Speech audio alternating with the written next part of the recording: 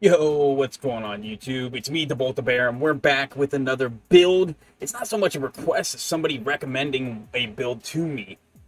This was one of the most fun builds, and I'm probably going to say a ton in the video, but this is one of the most fun builds I've done in a long time. The, the new Dracula perk Dominance is just phenomenal. Uh, phenomenal?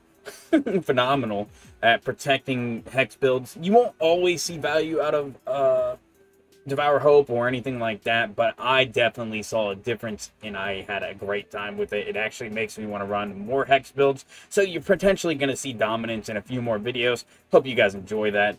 But before we get into that, make sure to slap a like on the video, sub if you want to. It does help me and it helps me understand what you guys want to see more of. And did you know that we're slowly creeping in on my goal of 1K by the end of the year? We are like less than 30 away. So just tell some family members, you know, make them making a... No, I'm just kidding. But yeah, guys, I really do appreciate you guys smashing this goal by the end of the year. And I can't wait to make more videos about it. But let's get into what the build is. We have a Devour Hope. When a survivor is unhooked at least 24 meters away, Devour Hope receives a token. Two tokens, you gain a 5% haste status effect 10 seconds after hooking a survivor for a duration of 10 seconds. Three tokens. You, survivors suffer from the exposed status effect, meaning you can one-shot them. Five tokens. Grants the ability to kill survivors by your own hands. Essentially, you get a Mori every time. So the second perk we have is Dominance. This is Dracula's new perk. The first time each totem and each, each, each chest is interacted with by a survivor, that totem or chest is blocked by the entity for 8 seconds. The auras of blocked totems and chests are revealed to you in white. Then we have Undying, the second form of insurance. Actually, this is the first form of insurance. No, it would be the second. Um, while Hex Undying is active, survivors within 4 meters of any Dull totem have their aura revealed. When another Hex totem would be cleansed, that totem's Hex transfers to the Hex Undying totem, de deactivating Hex Undying. Any tokens the transferred Hex had are transferred as well. And then for our final perk, this one is a sleeper hit I, I wanted to try it out because they said to, and it did not disappoint. Rancor, each time a generator is completed, your obsession sees your aura for 3 seconds. Each time a generator is completed, all survivors' locations are revealed to you for 3 seconds. Once the exit gates are powered, the obsession has the exposed status effect, and you can kill them just like you do with the Mori. The add-ons we have, we have improvised cattle prod. Each time a generator is completed, a 15-second timer starts. Any survivor who comes within 10 meters of a control station during that time has their aura revealed for the remainder of the timer. I couldn't remember what the if they even recommended a second perk, so what I chose was semiotic keyboard. Generators within 16 meters of a turret have the intensity of their auras determined by their repair progression. I figured this one would be nice just to keep an eye on generators. Since we have the aura reading as well, we can just keep an eye on everything the survivors are doing. This build is insanely fun. I highly recommend it, and I hope you guys enjoy it. I will see you in the match. Yo, we're in. We got the Hex build with Rancor. This build is a lot of fun. Dominance, it, it completes the build. I never thought uh, I needed this until I used it. Whoever recommended this build was insanely, insanely right with Rancor. Like, Rancor is something I didn't think I needed. So, like, if you're wondering how I know, I use this build all last night on my stream to test it out. And I want to say out of, like, 20 matches, maybe, we, uh, oh, nice, nice, Clinton. Out of, like, 20 matches, it's a rough estimate. I don't know if that's the exact amount. But, like, we won every single one aside from two. Like, and one of them was a draw. One was a draw, and then the other one we actually got beat. But, uh, oh, yeah, that's crazy. Undying gone within the first 50, 50 seconds of the match. That's okay. That's our insurance policy. Um, I heard somebody breathe. Hello? But yeah, it, this build is super fun. I recommend it. Uh, like I said, if you guys ever want to stop by the stream, feel free to do so. I don't. I know I don't normally advertise it that much, but I do stream a lot of Dead by Daylight, and I uh, the occasional JRPG here and there. She's she's just a W holder, man. Holding that dub. What she get? Yep, yep, yep, yep. I love these rocks with the slight curves on them. Alright, we get the down. We'll pick her up, throw her up on the hook. And this this isn't necessarily a build that I'm showcasing um, getting devour value out of. This is more of a build that I'm showing like you can make hex builds work better with dominance and undying to partner together. It just works. It's really nice. Yeah, I, I'm one that's like I don't really use a lot of hex builds for that reason. But now that I've seen this, I might actually just like I might actually just go for it. Damn, dude, I hate I'm not gonna lie, I know it's a meme type thing, but like the scene partner really annoys me sometimes with how much they scream. Right. Break that. They don't have this pallet, but dude, it's so hard to track them. I do hear her though. Alright, Meg, what do you got for me here? Oh, that was a nice fake. That was a really good fake. Can I get this? Yes, I can. Alright, we'll pick her up. We only have one stack. I think we were I think we were too close when the when the first person got unhooked, so that's alright. We'll throw her up and see what we can't do around here. I just I gotta keep an eye on this because this is this is actually a really terrible totem spot. Like really bad. Like they likely already already saw it. Alright. Stop screaming, man. Alright, yeah, we just eat the turret there. We eat the turret and take the damage. I'm alright with that. I'm chill with that, bro. They, this loop, they just keep running to this main loop, man. And it's not even that bad. It's not even a bad loop. You can play this for a decent amount of time. Especially since I'm M1ing right now because I'm out of turret. I mean, out of turret. Alright. Alright. That should be a hit. Oh, no. David coming in for the assist. And I don't have my tail yet, so I can't even... Oh, he's just leaving. That's alright. We'll take the M1 there. I probably could have got a tail strike, but you know. I'm not flexing or nothing. We take what we can get. Boop. I do want to get that going for you guys when we uh when we hit 1k. I'm probably gonna do an M2 only or a uh, no pallet or both at the same time. M2 only and no pallet breaking. Oh, hello. See, they know. They know about my totem. Oh, they're all here in this area. Um. Okay, we'll take this way. We'll head around. Try and cut her off. Oh, that was such a nice fake on her part. Oh, but she messed up too. We get the down there. I do want to slug her for a second because I don't want them to get this totem.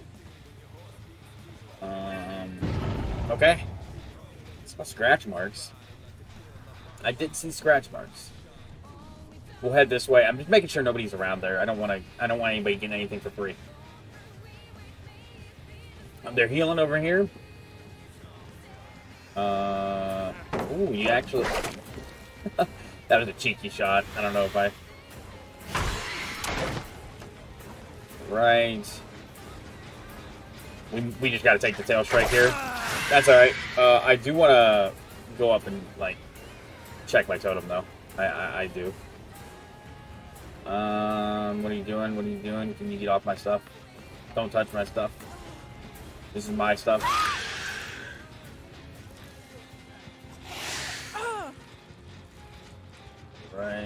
Think somebody just got on that. Uh, I'm gonna hope that I can get up there in time. What is it, 12 seconds to break a totem? So this is gonna be very close. I don't know if I get this or not. Let's see. Get off of it. No. Wait. If she broke the totem, how did we how did we insta down her? That doesn't make any sense. If we insta downed her, there would be no way for her to have broken the totem because she would have got knocked off of it. Damn, dude, that was like literally eh, like instant. Like they had to both happen simultaneously. There's no that's so unlucky, man. That's so unlucky. Cuz she went she, she was she injured? I don't remember if she was injured or she wasn't, right? I don't remember. I, I, I'd have to go back and look. But as far as I know, she wasn't she she wasn't injured. She was fully healed. Oh, that's that's so annoying. All right, man. All right, we'll pick him up, throw him on the hook. We got plenty of value out of the out of the hex build. Uh, not undying, but we did get an insta down, I guess. so now we're just playing. Uh, we're playing two perk, two perk uh, xenomorph. Mm. Two perk xenomorph. You're the one that did this. Ooh, we just grazed her hitbox. You did this to me. You made me the way I am, Nea. Oh, my little my little tail, man. My little tail is getting burned. Get that on my face. Break this. See, these new maps are pretty bad for survivors, man. I mean, they have this strong section in the center, but like that's it. These new variations are not very good. Alright, she's like, dude, she's super patient, man. We're just gonna hold W here. I think she made a mistake. Never mind, she had dead hard. Never mind, she had dead hard, dude. She dead hard into me. Ooh, but then she made a mistake herself. What are we doing here? What are we... Oh, my... Oh, she's like, if I had a flashlight, you'd be done, kid. You'd be done. Alright. Um, oh, she's gone. We'll kick this. We'll kick this. Yeah, so she definitely had a full health bar, right? On the last one. Otherwise, she would have dead hearted the, uh, the hit.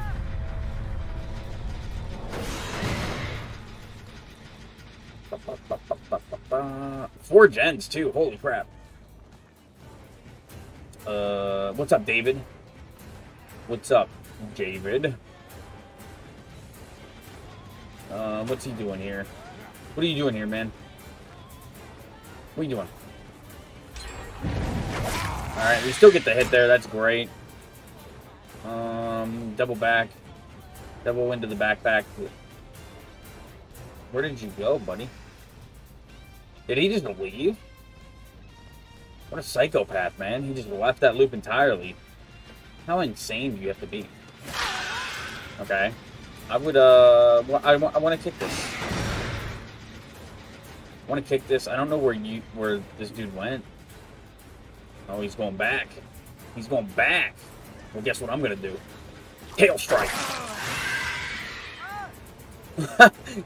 the scream after the fact. Alright. Oh, he threw the wood in my face, bro. Boss. Fake that. Act like I'm going up there. Man's is stuck. You done? Game over for you, man? He was looking behind him like he had dead hard. I was making sure he didn't have dead hard. They might finish another gen here, though. Uh... Oh, no, they finished the one that I kicked. Okay. Well, that's alright, then. I know I know where they are now. They were they're over there healing up. I did notice that. Just so you guys know. I do notice things. I have eyes. What is up, Meg? What do you I don't know what I was shooting at there, dude. I don't know what I was shooting at. Not them, clearly. Alright, what are we doing here? Oh, okay. Well, no. I'm not gonna let that stand. Okay. Hi, Meg. Hello. Up on the hook he goes. Uh, she went up here, right? I'm gonna go around. I'm gonna go around to see if I can't catch her off guard. Maybe. Maybe, maybe, maybe. She might drop down. And... She did drop down. Okay. Well, you know what? Instead of going after the fully healed one, I'm just gonna take her out. I'm gonna take him out. He plot twisted again. Did he have power struggle? I wonder. Well, he doesn't have DS, so he's dead now. so GG's. GG's. Let's go into the next one. Let's go. They sent me to RPD, dude. I'm not happy about it. I'm not happy about it, man. But it's alright, because this build is fun. I think I'm going to use this build more consistently.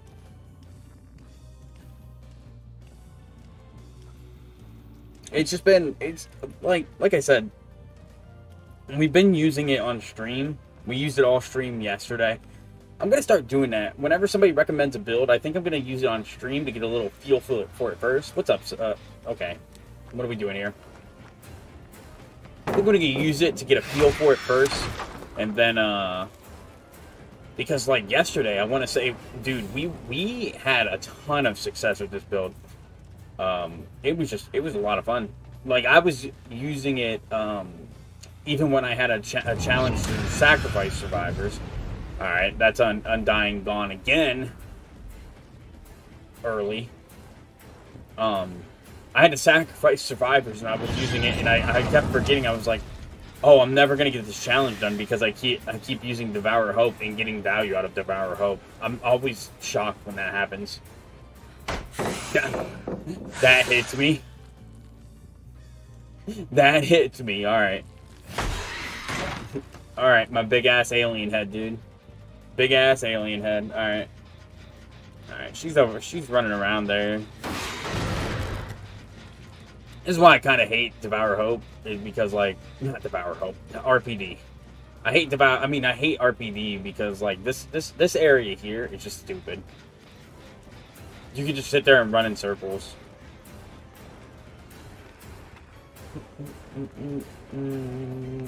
We are having a slow start. Um, she greeted that. Uh-oh. Nancy just fucking throwing a flame turret into my face. It's alright. I'll take the M1 here. I ain't opposed to it. I'm one of the I'm one of the few Xenomorph players that probably will stay in M1 mode more.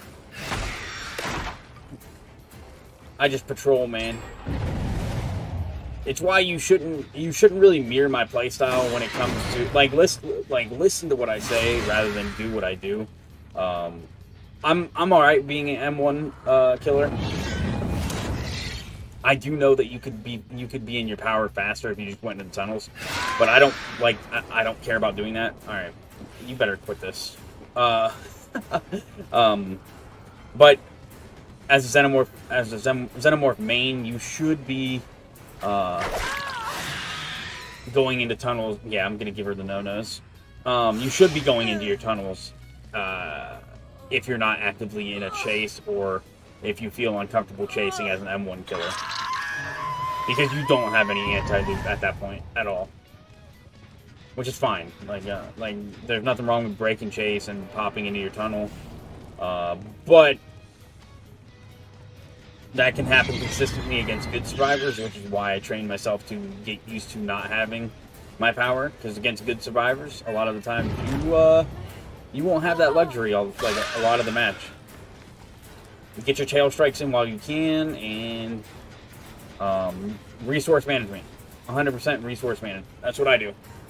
I'm always thinking about if if, if they drop this pallet. Ah, uh, that was a bad tail strike. Um, if they drop this pallet now, I won't have to worry about it later. Alright. I didn't think she I she she she didn't respect the tail, dude. She didn't respect the tail. So we're gonna punish her for that. Alright, so a little tip on uh, on that, if you're new to Xenomorph, um, be careful lunging while you're in tail strike while getting hit by the turret because it will reduce your lunge because it's slowing you down. Happens to me all the time. Happens to me all the time. Alright, what's up? It's you again. Alright, we got two stacks of Devour Hope. We love to see it. You better quit that shit. Getting real tired of you. What is it, Civil? Civil? Civil? I'm getting real sick of your shit. Can I get this hit? Uh, we got it. Better quit it. Fake that. Strike! Oh, it was on point. It just was. She was just out of range. Just out of range. Oh my. That, that noise actually scared me. Then you'll get you get so many people that get mad, like you've broken so many turrets and you didn't get knocked out of your power. Well, yeah, because that's not the sole purpose of um, the turret. The turret's to like time management, right? How much of my of my time have they wasted by putting these turrets down? Nice, nice tail strike. You got to think about that too. Like the the turrets, the turrets aren't just to get you out of power. It, it is a nice it, it's a nice feature, yes, but uh, they're not solely meant to get you out of power. Look at these guys. Look at these dudes. Uh, break this. Head down here. I don't think I want to actually pursue them over there. Because then they're going to just like... I'm not going to get my third stack of Devour. We'll kick this. We got time. We got time. Now we head down. Because now the real game begins and I can play catch-up. Because these guys have been playing pretty well so far. Um, but we've also gotten rid of a few good pals, I'm not going to lie.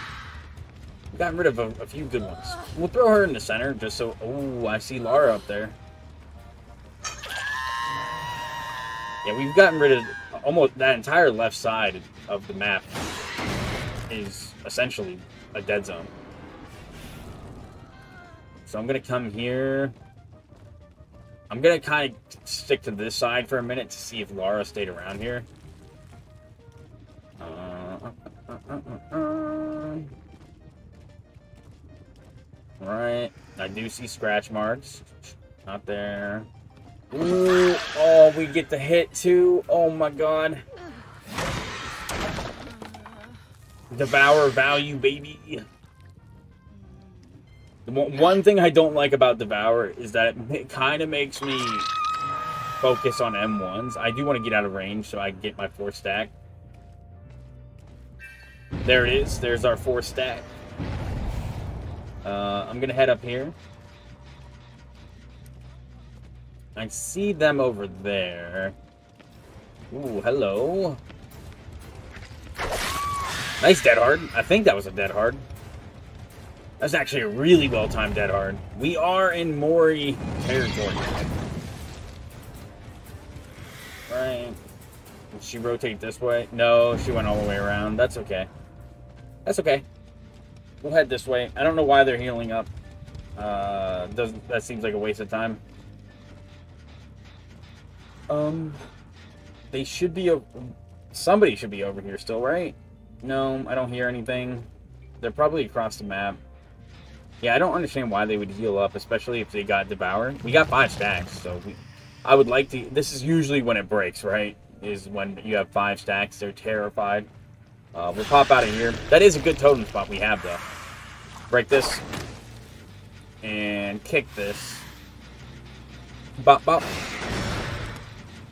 And then I'm going to rotate around this way to see if any of them are coming through the main. Don't think so. I don't see any of them up there. Don't touch my toe. I heard somebody fall. I think. Did I hear somebody fall? Yeah, I had to have. That wasn't a zombie. Somebody, somebody was up there. Oh, hello. Oh, nice. She had. Is that sprint burst? It had to have been sprint burst. Uh, this is a dead zone now. Um, you're just done. You're out. We get the we get the down and the Mori. So, uh, goodbye, Alara. Boom. I did see somebody running in front of me there. Give Xenomorph a little kiss. Didn't even get her ponytail, man. It left her ponytail there. What are we doing? Alright. Break this. We... We are at Mori potential, so, like, I don't... I hope we get another one. It'd be nice. Uh, for some reason, that, oh, that was a nice fake. That was super nice fake on Nea's part.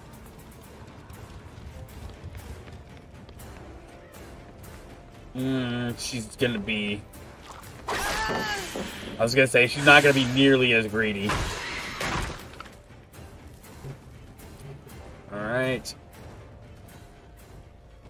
Some loud, some loud drivers outside. Oh, she was silent, man. Take that. We get the down there, and we get... Oh, come on, come on. Let me get the Mori. Let me get the Mori. Right in the pallets, dude. Right in the pallet. Mori time. Come here, Nea. It's so cinematic. Oh, and they broke it. No. What if that cut off the Mori when they did that? Oh, man. They broke it. But we got... Hey, I'm happy. We got we got two uses out of it.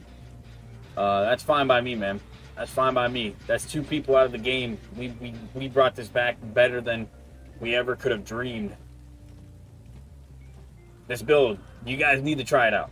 You need to try this build out. Whether it be on Xenomorph, I was using it on Dracula. I had the same amount of success as I did on uh, Xenomorph. Uh, obviously, not as much because Xenomorph has a little bit more freedom to travel. But Dracula has his um, has his bat form. So, dude, they're staying in these areas. Yeah, you messed up. You messed up. this is a GG's though, man. Ooh, but she's not dead yet. She's not dead yet. I mean, it's still the GG's. I highly doubt they're gonna they're gonna do anything. Um, they're probably gonna let go, and somebody's gonna go for Hatch, right? I'm gonna guess. Kick this. Should be a GG's. Let's see. GG's. All right, those are the matches that I chose, but I could have chosen any of them. We got a lot of value out of the perks. These are just probably the closer ones that I dealt with. It was really fun. Uh, I hope you guys enjoyed watching it. I'm probably going to do more Hex builds with something similar to this. Probably might take out Undying, but I just want that insurance, you know? But overall, it's really good. Rancor really helps keep uh, an idea of where survivors are, partnered with the improvised cattle prod, and you always have value somewhere. Um, make sure to check it out, guys. Make sure to slap a like on the video, sub if you want to. It helps me understand what you guys want to see more of. And we're almost to the goal of 1K by the end of the year. I'm pretty sure you guys are tired of hearing it. But as always, stay safe. Have a wonderful rest of your days, nights, whatever time it is for you. And I will see you in the next one. Peace.